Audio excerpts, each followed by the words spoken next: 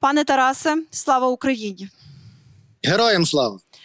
Багато чуємо тривожних ми повідомлень, але тим не менше ми віримо в наші збройні сили України і бачимо теж і хорошу інформацію, що вони відбивають е, атаки нашого ворога. Скажіть, будь ласка, для вас особисто, коли ви зранку почули о 5 годині звернення агресора про те, що він вводить офіційно війська в Україну і вже почали бомбити наші міста, що ви відчули?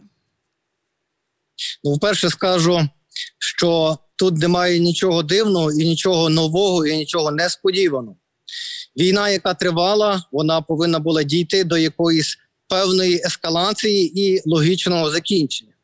Оскільки а, ворогу таки не вдалося зламати нас, українців, на дипломатичному фронті, не вдалося заставити наших європейських партнерів натиснути і позбавити себе суб'єктності і незалежності, почалася військова кампанія. Ця воєнна кампанія могла початися як 5 років тому, так і через 5 років пізніше.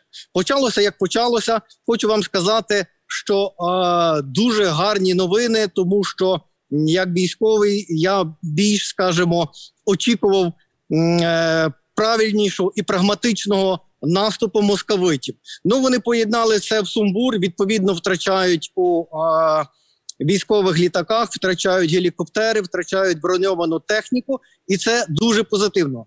Е, що прикметно, що все ж таки наше військо є готове і е, віддає чітку відсіч для е, цивільного населення. Це дуже важливо від військових. Все, що ви чуєте, зберігайте спокій. Але а, на жаль, до багатьох це не доходить, бо а, паніка це є друг нашого ворога. І головне його завдання якраз е, нашими панічними діями, нашими рухами допомогти ворогу, аби впала влада, а відповідно і суверенність української держави. Тож хто не запланував е, собі певних пунктів перебування, е, залишайтеся вже вдома. Поки працює телефон і інтернет, передивіться, де саме знаходяться бомбосховища, пройдіться до них, але це так, на всяк випадок, щоб ви були спокійні. Е, Ворог не буде бомбити на даному етапі е, цивільне населення і цивільні об'єкти. Він відпрацьовує по воєнних об'єктах. Е, як бачите, е, наша техніка є збережені, наші літаки не падають і не згоріли в аеропортах. Що це означає? Це означає, що ми були готові до удару, підготувалися, і ми його вдало відбиваємо. Е, Сьогоднішня ранкова паніка, виїзд з міст, блоковані дороги. Це є якраз те, що потрібно нашому ворогу для того, щоб заблокувати збройні е, підрозділи, які не зможуть передислоковуватися і виїжджати на свої бойові позиції Національну гвардію. Тож е, будьте добрі, е, бомбування, бомбардування міст, таких як ми знаємо, які були в часі Другої світової війни, те, що ми бачили з історії, бачили в фільмах, ну не буде. А, Тому небезпеки тим, хто не перебуває біля воєнних об'єктів, ну їх її просто вона мінімальна. А, зараз важливо є консолідуватися, зібрати сили в кулак чоловікам, які готові боронити і можуть боронити свою державу. А, Треба братися за зброю, щоб завтра не було пізно. Але в будь-якому випадку ми впевнені і переконані, що а, ця воєнна компанія Московії зазнає поразки і найближчому, якщо не від двох тижнів, то дво, до двох місяців завершиться перемогою України.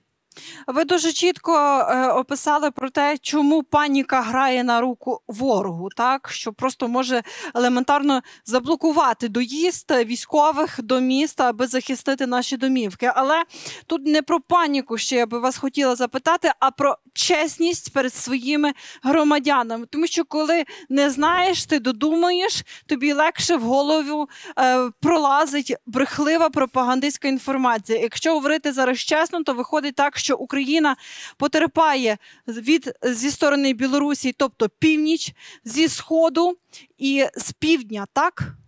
Виходить, так. що вона, ми воюємо зараз на три фронти. Наскільки це складно? Е, ви знаєте, е, передбачувано воювати з одним ворогом фронтально з одної сторони. Якщо вже в тебе додається з двох сторін удар, це складніше, а з трьох ще більше. Ну не забуваємо Придністров'я, де теж з цього боку е, нам можуть теж завдати певний не сильний, але так. такий, але такий, але такий удар і загроза в цьому є.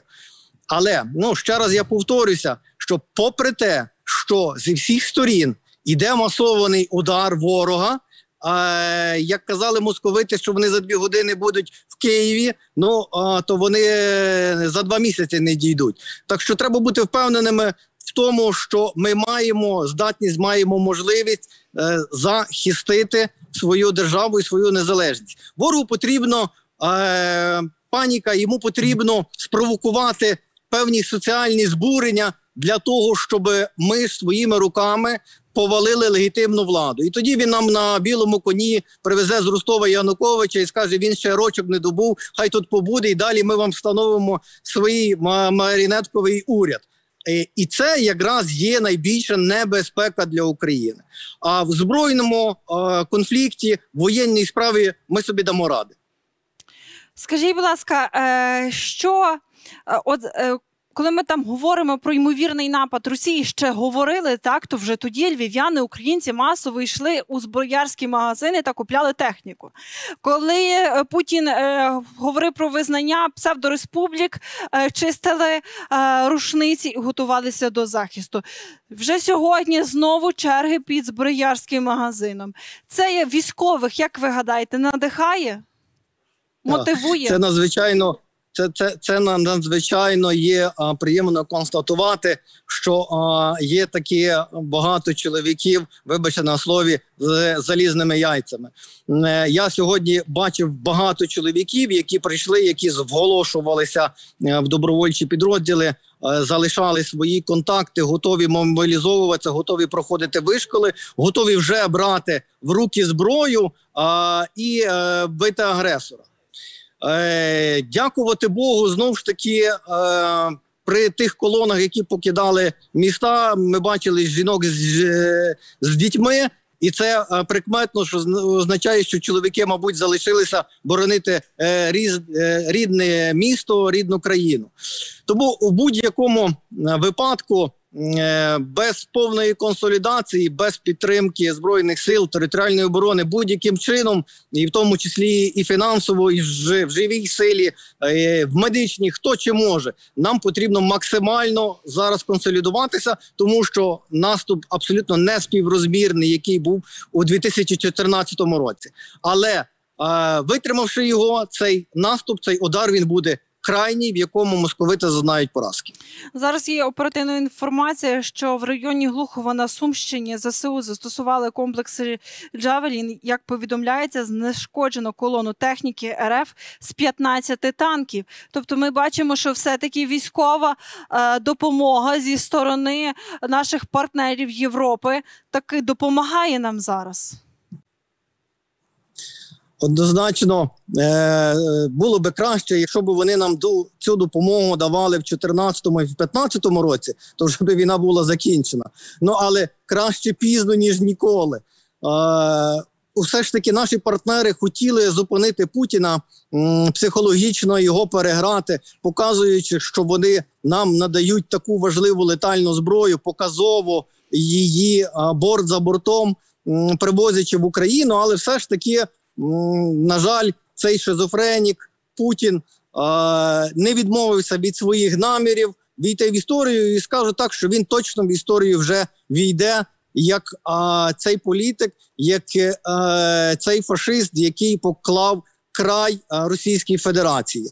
Ну на жаль, і ми до того докладемося, понесемо втрати, нікуди від того не дінешся. Це є війна, це є боротьба. Ну але для того, щоб перемогти, треба бити на нас нападають. Ми на своїй землі, ми її боронимо. З нами Господь Бог, і точно перемога буде за нами. Важлива інформація щодо російського вторгнення. Війська окупантів із території Білорусі увійшли до зони Чорнобильської АЕС. Нацгвардійці, що охороняють сховище е, небезпечних радіоактивних відходів, відходів, чинять запеклий опір. Якщо внаслідок ударів артилерії окупантів буде зруйноване сховище ядерних відходів, то радіоактивний пил може накрити території України, Білорусі та країн Європейського Союзу. Повідомляється у засобах засобах масової інформації. Ну насправді, коли говорили про ймовірний наступ, а зараз вже він виявився очевидним, теж говорили, що Чорнобильська зона е, вона в зоні небезпеки, зокрема через е, відходи і ядерні, які там є, і небезпеки, але те, що вона мало охороняється, і там практично немає військових частин. Як ви оцінюєте, чому їм потрібна ця Чорнобильська АЕС? Для чого це їм? Швидше всього, це пов'язано з тим, що ви сказали вище, оскільки е, ця територія кордону північна нас була не прикрита. Е, ми не встигли розгорнути бойові порядки для захисту кордону, е, а особливо Чорнобильська зона, яка мало кого цікавила, і ось тут. В той момент, де є найбільш незахищена ділянка, ворог вирішив прорватися. Тому я думаю, швидше всього їм не потрібно саме сховище. Вони не збираються його підривати. Це е, обхідний маневр для е, виходу на через Овруч на Київ. Е, але е, впевнений, що за якісь там кілька кілометрів в них будуть їх будуть чекати приємні несподіванки. Приємні несподіванки для нас, для українців. Пане Тарасе, ще хотілося б від вас кілька слів до українців почути? Звернення ваше. Така історія тяжка з нашим е, сусідом, з московитом, що ми змушені з ними впродовж 400 років воювати і захищатися. У нас були успішні бої, перемоги, у нас були поразки. Найгірші у нас момент поразок це була зрада самих українців, е, воєначальників, наших полковників носів, які е, були недолугими, недалекими і продажними. На даному етапі Україна і українське військо є сильним як ніколи. І е, у цьому протиборстві ми маємо максимальну кількість шансів перемогти московитів, відірватися від руського нав'язаного міра і рухатися в цивілізований світ. Ми живемо в різних парадигмах, а ми живемо як європейці, хочемо жити в правовому полі, в демократичному ординці, московити вони живуть в парадигмі сили, і вони розуміють тільки силу. Коли ми силою їм надаємо, на тому вони заспокояться. Тож, брати і сестри у Христі, українці, ми отримуємо крайній напад московитів на нас, маючи можливість його чим швидше відбити, тим швидше на наших теренах буде мир і процвітання. До зброї, до зброї братів, браття Слава нації! Смерть ворогам. Не можу я вас ще відпустити, пане Тарасу, тому що інформація просто з'являється і тривожна. Вона CNN показує репортаж, в якому стверджує, що російські воєнні взяли під контроль аеропорт Антонов 25 кілометрах від Києва. Офіційної позиції ще е, Збройних сил України немає, але наскільки це можливо? Ну мені не хочеться вірити. Е, я впевнений, якщо і навіть вони захопили литовище, то літаків там немає, але е, ця інформація напевно потребує ще перевірки. Ну насправді дуже багато інформації потребує перевірки, та але хотілося б CNN так точно довіряти. Ну кажу, що інформація є не підтверджена.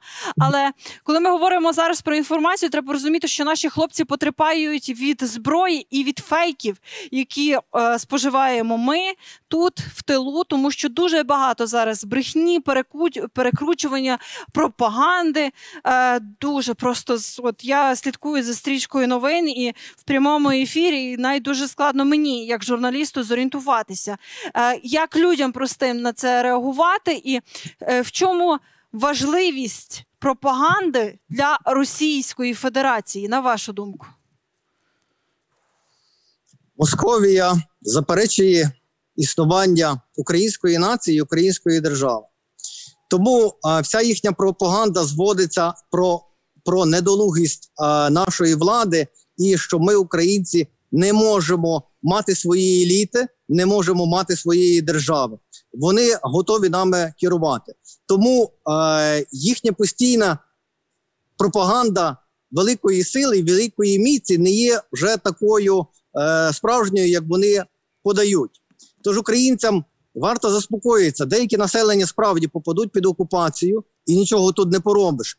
Потрібно почекати певний термін, перетерпіти ту окупацію, бути до неї готовим, е, не наражатися на небезпеку, не е, вдягати якихось е, камуфляжів чи щось, що би нагадувало, було схоже на військ приналежність до, до військового підрозділу. Головне, збережіть своє здоров'я, якщо ви попали під окупацію, і, е, і життя. А українське військо, звичайно, ті населені пункти чим швидше з допомогою союзників е, звільнить.